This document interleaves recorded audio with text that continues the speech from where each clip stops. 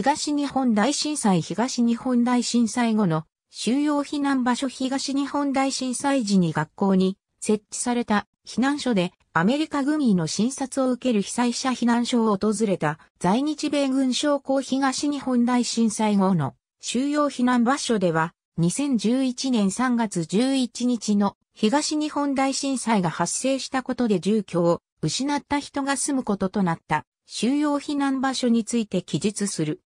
被災地の各地では学校やスポーツ施設などの公共施設を避難者向けの収容避難場所として転用したり、政府が旅館などといった宿泊施設を借り上げることにより避難者に臨時の居住地を提供している。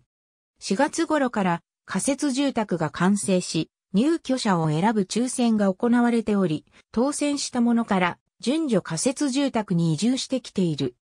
各施設は2011年夏頃からすべての避難者に移住先の目途がついた、あるいは行政側、施設所持者側の都合などといった事柄で順次、避難所としての利用を終了させ始めている。仮設住宅当選者の中には当選した仮設住宅の立地条件などが気に入らなかったり、仮設住宅に入居したならば、食事や物資などといった収容避難場所に在住していたならば、無料で提供されるサービスがなくなってしまうことなどから、仮設住宅に移住せず収容避難場所に住み続けているものも存在する。避難所住民の中には避難所での生活を続けていたいがために仮設住宅への応募をしない者が数多く存在する。その中の多くの者が避難者同士で培った絆がなくなるからだということを理由としている。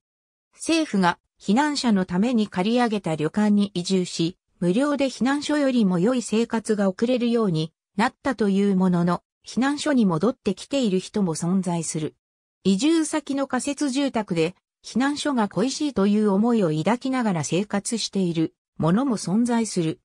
各地の避難所の中には、皇族、政治家、芸能人などといった著名人が訪れることにより、避難者に対して直接メッセージを送ったり演芸を披露したところが存在する。菅直と清水正隆など訪れた先で避難者から怒号を浴びせられたものも存在した。ありがとうございます。